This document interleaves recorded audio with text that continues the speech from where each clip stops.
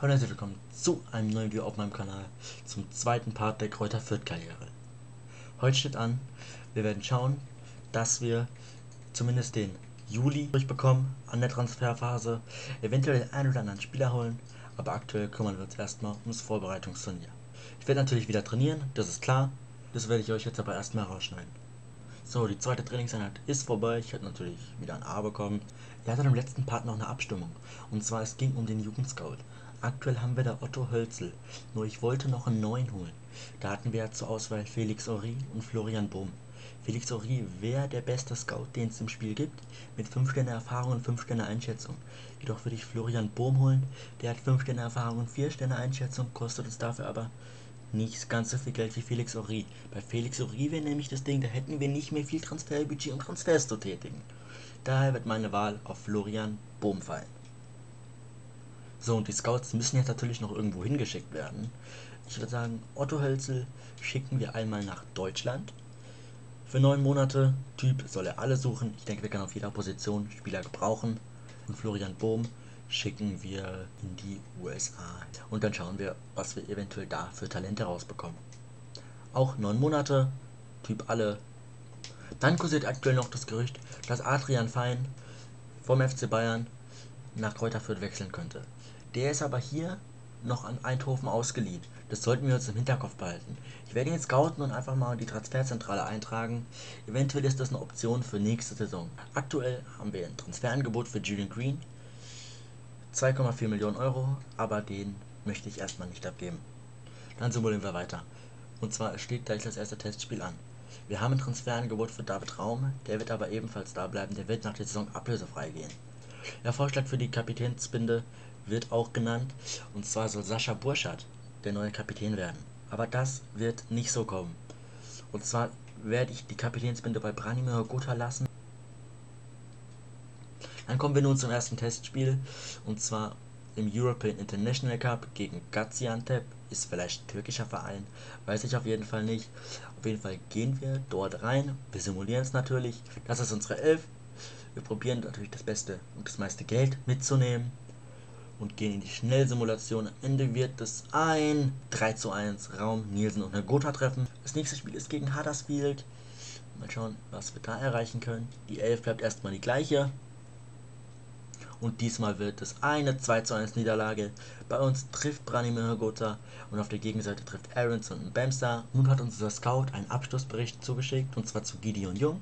Das ist ganz gut. Wir sehen, er hat einen 69 als Gesamtstärke, ein Wert von 1,5 Millionen und ist, denke ich, nach der Saison interessant für uns. Genau wie Christiansen und Seufert. Und eventuell auch Wein.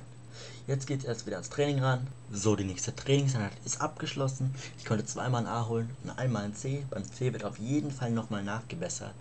Wir haben noch ein Leihangebot für Robin Kea. Das ist leider mit einer Kaufoption. Ich werde es delegieren, aber natürlich ohne eine Kaufoption, weil Robin Kerr soll erstmal bleiben. Gerne auch eine Zweijahresleihe. Und dann schauen wir, was rauskommt. So, das nächste Testspiel steht vor der Tür und zwar gegen Konyaspor. Wahrscheinlich auch ein türkischer Verein, würde ich schätzen. Die ganze Elf habe ich ausgetauscht, einfach damit jeder ein bisschen Spielpraxis bekommt. Äh, wir haben natürlich noch ein paar Spieler auf der Bank entsprechend, die uns weiterhelfen können. Aber damit kein Spieler unglücklich ist und die Kaderatmosphäre zumindest erstmals passt. Später werde ich wahrscheinlich nicht so viel rumrotieren, aber aktuell ist es auf jeden Fall noch wichtig. Wir gehen in die Simulation und es wird ein 0 zu 3 aus unserer Sicht. Das war es wahrscheinlich leider mit dem Vorbereitungsturnier. Das war es leider mit dem Vorbereitungsturnier. Gut, wir hätten, denke ich, weiterkommen können, hätten wir mit der AF gespielt, aber so ist es nun mal. Dazu sind jetzt auch weitere Scout-Abschlussberichte da. Und zwar Max Christiansen und Nils Seufert. Die schauen wir uns gleich an. Erstmal bekommen wir noch 800.000 Euro Transferbudget, weil wir im Turnier so weit gekommen sind. Dann meldet sich der Vorstand und sagt, leider haben wir es nicht bis ins Finale des Vorbereitungsturniers geschafft, aber wir haben natürlich weiter Vertrauen für sie.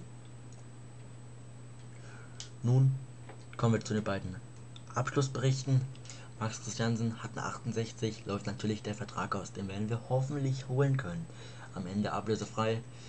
Genau das gleiche ist bei Nils Seufert, der hat eine 67, sind beide 23, beide spielen fast die identischen Positionen, dazu kommt natürlich noch Jung. Mit dem zugehörigen Geld, was wir bekommen haben, sieht unser Transferbudget jetzt so aus. Circa liegt es bei 2 Millionen. Das war gerade eben nämlich nicht der Fall. Ich denke, so viel Gehaltsbudget brauchen wir nicht. Vielleicht 6000 Euro, haben wir 2,1 Millionen. Aber so um die 2 Millionen würde ich rechnen. Davon brauchen wir bestimmt eine Million einfach für die ablösefreien Spieler zu holen. Und die eine Million, denke ich, können wir noch sinnvoll ausgeben. Eventuell holen wir uns einen neuen Scout. So, wir haben zwei neue Nachrichten. Und zwar einmal die Übereinkunft für Robin Kerr. Das wurde angenommen. Also wird Robin Kerr uns zwei Jahre verlassen. Und zwar in die Türkei mit Gaziantep FK. Waren wir, soweit ich weiß, sogar in der Vorbereitungsgruppe. Dann haben wir noch den Scout-Abschlussbericht zu Adrian Fein bekommen. Er hat eine 72, hat einen Marktwert von 5 Millionen Euro und hat ein Gehalt von 27.000. Das ist natürlich schon eine Menge Geld. Eventuell nächstes Jahr bei einem Verkauf von einem anderen, einen oder anderen Spieler könnte das was werden. Aber dazu müssen wir erstmal kommen. Außerdem habe ich mich jetzt entschieden, und zwar Anchia Neto wird erstmal in der Fußballschule bleiben. Wer aber nicht mehr dort bleiben wird, ist Emilio Schmidt. Der wird jetzt rausgeholt, kann ZOM spielen und Mittelstürmer. Er ist aktuell auf dem Weg zum Innenverteidiger. Das bedauert noch 136 Wochen, das ist mir bewusst. Jedoch wird er jetzt rausgeholt. Er hat eine 63er Gesamtstärke, das heißt, wir sollten eigentlich sehen können, was er für ein Potenzial hat. So, hier sehen wir ihn. 4 Sterne Spezialbewegung und 5 Sterne schwacher Fuß, das haben wir ja vorhin schon gesehen. Aber hier sehen wir, glaube ich, nochmal erst 1,91 groß. Wir sehen, er hat Potenzial, etwas Besonderes zu werden. Das ist auf jeden Fall super. So, Robin Kehr ist ausgeliehen. Er stimmt im Wechsel zu. Und dann haben wir noch ein Transferangebot von Tigres für Harvard Nielsen. Das ist aktuell unser Top-Stürmer mit Branimir Gotha natürlich.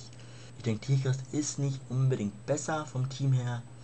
Und aktuell sind wir ja auch noch in der zweiten Liga und da wird er bleiben. So, wir haben noch ein Leihangebot für Mario Sobaric. Natürlich wieder mit einer Kaufoption. Wieder delegieren zu einer Zweijahresleihe und eine Leihe ohne Kaufoption. So, es gibt eine Übereinkunft zu der Subaric-Leihe. Und zwar hat der CF Fuhren Labrada unsere Konditionen angenommen. Das heißt, sie möchten Subaric ohne Kaufoption ausleihen, aber dafür für zwei Jahre. Das nehmen wir natürlich an. Ich habe jetzt mal in verschiedene Trainingspläne geschaut und habe gesehen, Jamie Leveling. Der ist natürlich sehr talentiert, das ist klar. Und ich möchte ihn erstmal als inverser Flügelspieler weiter trainieren und nicht als ausgeglichen. Einfach damit das Tempo wirklich viel in die Höhe steigt und auch das Schießen. Das Schießen liegt nämlich nur bei 59. Das Tempo, denke ich, da kannst du auch noch ein bisschen was machen. Das ist 83, das ist auf jeden Fall sein bester Wert, das ist klar. Dann sind wir auch schon am ersten Spieltag angekommen. Wir empfangen den VfL Osnabrück.